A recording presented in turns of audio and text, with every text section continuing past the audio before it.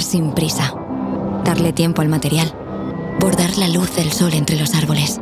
Superposiciones de tiempo y de agua. Madurar la idea igual que se cura el queso, dejando que el proceso creativo fermente solo. Una pieza escultórica nacida del papel de pulpa de fibra de abaca. Darle forma. Darle vida.